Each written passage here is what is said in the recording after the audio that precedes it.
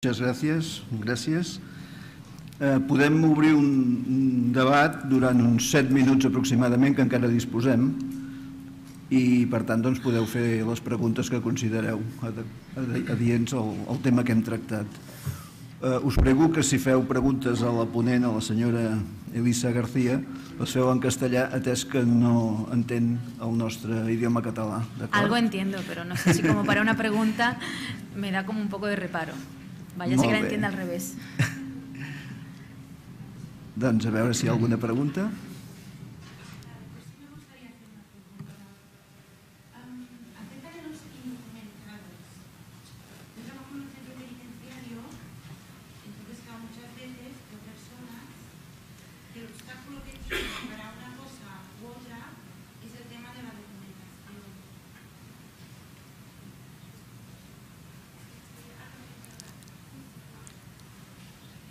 Me preguntas a mí, ¿qué hacemos con los indocumentados?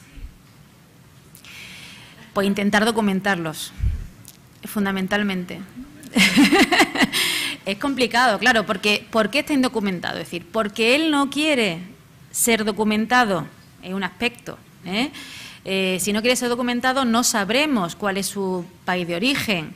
Si no sabemos su país de origen, no podemos tampoco establecer conversaciones con las embajadas ni con los consulados.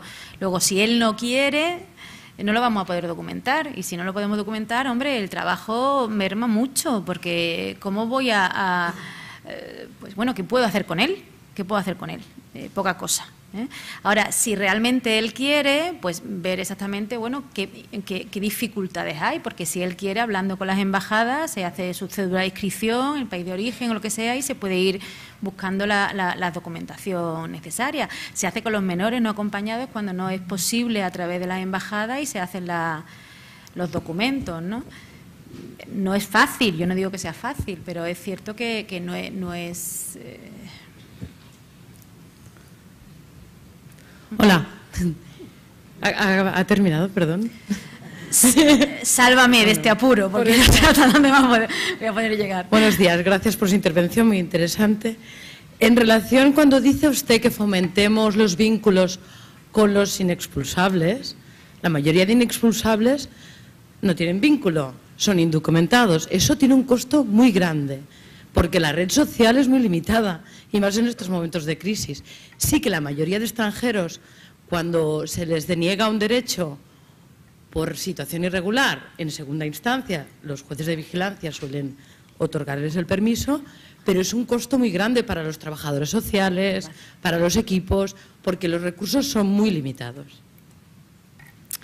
Es cierto y lo sé y, sabía que por aquí iban a abrir los tiros. Yo he estado 10 años eh, trabajando como voluntaria en prisión, asesorando a extranjeros, asesorando a trabajadores sociales, a los juristas de la prisión de Málaga y conozco las dificultades del día a día.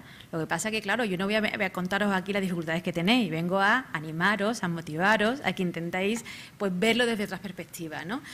Es cierto que el costo es muy grande y yo creo que se están haciendo cosas, es decir, la prisión está bastante permeable a las asociaciones, está bastante permeable a, las distintas iglesias. Por ejemplo, la, no sé si tenéis contacto con iglesias protestantes, pero las iglesias protestantes hacen, por ejemplo, en Canadá un trabajo maravilloso con delincuentes sexuales en la reintegración a la sociedad a través de círculos, ¿no? que se puesto también en marcha aquí a través de la universidad y eso procede de una de las iglesias protestantes de Canadá. Entonces yo creo que ese, esa... Mm, eh, digamos, esa, política más de apertura a, toda esa ONG y tal es lo que va a permitir que de alguna manera cogen algún tipo de vínculo, incluso pues contactando en el caso de los jóvenes, eh, localizando, preguntándole al joven qué educador recuerda como referente. Y los educadores sociales, los educadores de calle que han estado con estos menores, estoy segura que se van a prestar a colaborar en prisión con estos chicos para llevarlo a cabo. Yo sé que el coste es alto, pero que hay posibilidades, que hay posibilidades.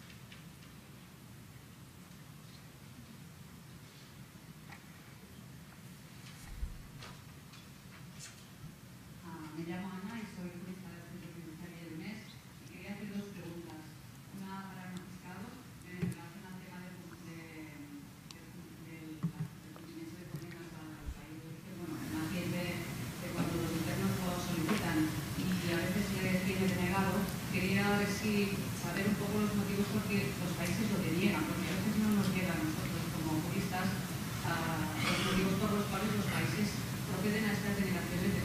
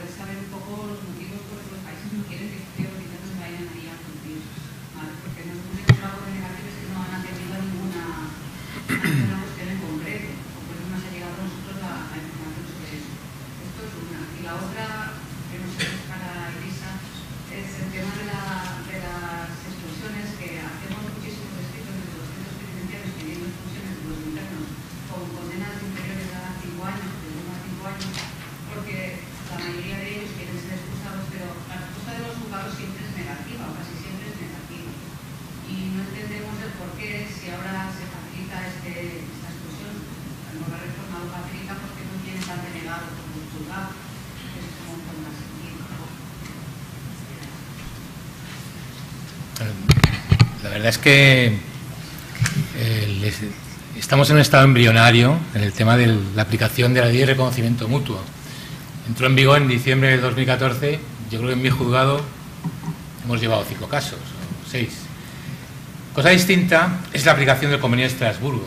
Quizá ahí, que, lleva aplicándose desde el año 83, es posible que haya más experiencia al respecto, pero claro, las relaciones eran entre Estados, no intervenía la autoridad judicial, con lo cual desconozco las razones por las cuales se podía denegar el cumplimiento.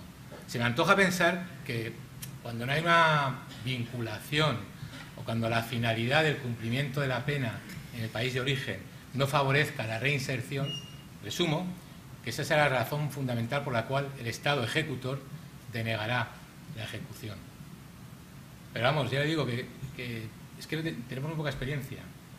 Y en el ámbito comunitario, con la ley de conocimiento mutuo, francamente, yo entiendo que la mayoría, yo por lo menos los casos que he tenido, todos se han admitido. Todos, hasta la fecha. No lo puedo decir. ¿Y en otro tema? Eh, yo creo que hay un, que se entiende como que la expulsión siempre va en contra del extranjero y a mí no me parece que sea así. A mí me parece que hay casos que los extranjeros quieren ser expulsados y casos en donde el extranjero necesita para su reinserción ser expulsado. ¿eh? O sea que yo, de entrada, no soy contraria a la expulsión, ni muchísimo menos. Eh, ¿Por qué lo hacen los jueces así? Eh, yo no lo sé, porque no, no, no sabía que lo estaban denegando, porque además el artículo 80 el 89 es muy claro, dice, para, para condenas inferiores a cinco años, la sustitución de la pena sí o sí. Eh, mm, pero evidentemente a mí me parece que si se observa que quiere ser expulsado y, el extranjero quiere ser expulsado, debe serlo, ¿eh? en ese sentido.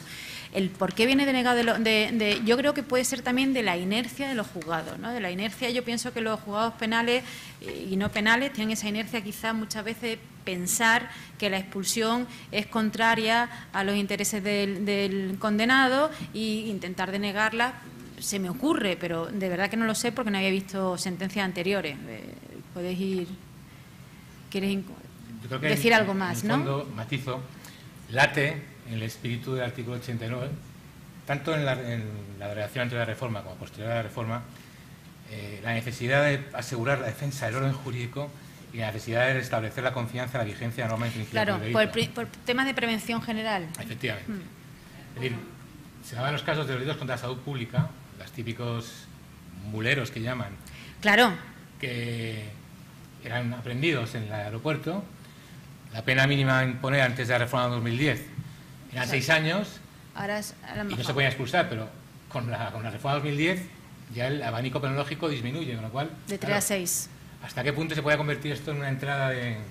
Sí, sí, por, de- por delitos contra la salud pública Claro. transnacional, eso es, es un criterio que suelen eh, no poner y si es tráfico de personas y de tratas tampoco. Ahora, fuera de ese, de ese eh, de esos delitos que ya conocemos que no van a conceder la expulsión, el resto deberían de concederlos.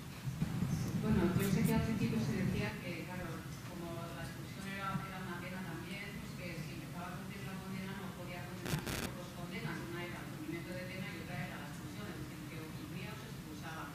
Pero cuando el interno, claro,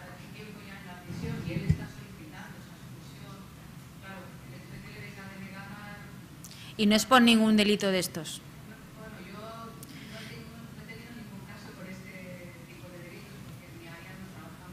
Hombre, si le viene delegado, mm, otra opción también es que desde prisión se le conceda el tercer grado de libertad condicional y ya sale expulsado.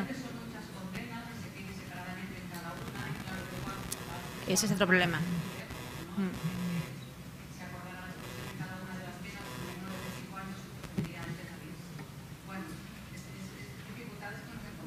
Sí, sí.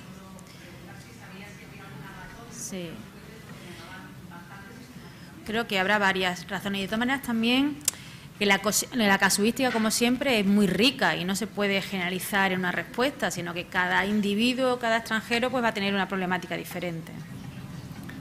Bé, hem de donar per finalitzat aquest debat. Mm, us la vostra atenció. I jo vull aprofitar la vinentesa per comunicar-vos que enguany em jubilaré. Eh, voldria donar les gràcies a tots els meus col·legues, juristes criminòlegs. Tenen una funció social molt important, per tant us, us encoratjo a seguir treballant de la manera que ho feu i ja ens veurem. Moltes gràcies.